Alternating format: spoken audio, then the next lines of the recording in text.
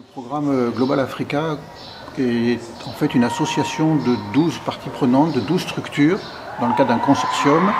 Et parmi ces 12 structures, 4 ont été plus particulièrement euh, à la manœuvre, je dirais, dans la construction du programme. L'Université Gaston-Berger, qui accueille le colloque, l'IRD, l'Université internationale de Rabat et le LASDEL, qui est un laboratoire de recherche du Niger. Donc déjà, on voit qu'il y a une grande diversité qui se retrouve au niveau de l'ensemble de ces 12 structures, où à la fois on a des structures anglophones, francophones, des structures nationales et internationales, sous-régionales, comme l'EISA ou le CODESRIA, et des structures qui sont parfois dédiées à la recherche, j'ai envie de dire l'IRD, euh, des structures d'enseignement, de formation, comme les universités.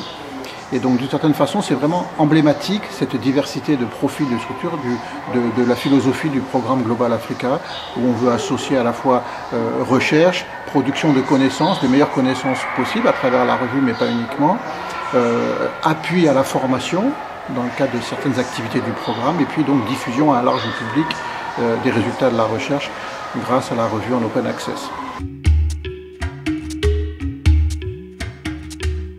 Je dirais qu'il y en a deux. Il y en a un qu'il faut, faut, faut assumer, qui est de promouvoir le lancement du premier numéro de la revue Global Africa, du même nom que le programme Global Africa. Et le, et le, et le, second, mais qui est intimement lié au premier, c'est finalement montrer quelle est la, la, philosophie de ce programme et donc la ligne éditoriale de la revue euh, à travers un, certain nombre de conférences plénières, euh, de, de panels, sur des, questions finalement d'enjeux pour le continent, mais qui, questionnent aussi la, marche du monde, j'ai envie de dire. Parce qu'on n'est pas du tout dans une approche euh, euh, centrée uniquement sur le continent. On est convaincu que euh, les conférenciers, les panels, enfin en tout cas on a essayé de les organiser de telle sorte à ce qu'ils puissent à la fois s'attaquer à des questions qui touchent le continent, mais qui sont d'un intérêt global. Il faut des laboratoires. Il faut des laboratoires de recherche, il faut une culture de recherche.